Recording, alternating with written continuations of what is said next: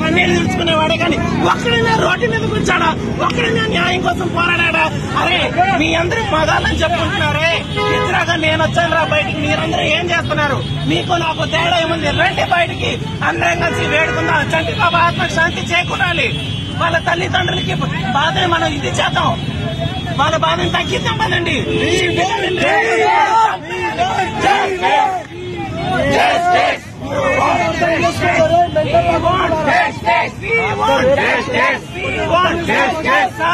దయచేసి ఈ విషయం పెద్దవాళ్ళ దాకా వెళ్ళాలని నేను రెండు చేతులు జోడించి వేరుకుంటున్నాను అలాగే నా శిరస్సు వంచి ప్రతి ఒక్కరికి నమస్కరించుకుంటున్నాను. ఈ విషయం పెద్దవాళ్ళకి చేరాలి. రేపు చేసిన ప్రతి ఒక్క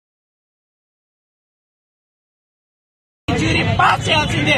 అదే ప్లేస్లో రేపొద్దు మన అక్క మన చెల్లి మన తల్లి మన వదిలే వెళ్తుంది రోడ్డు మీద. వాళ్ళకి Subscribe us and press the bell icon for more interesting updates.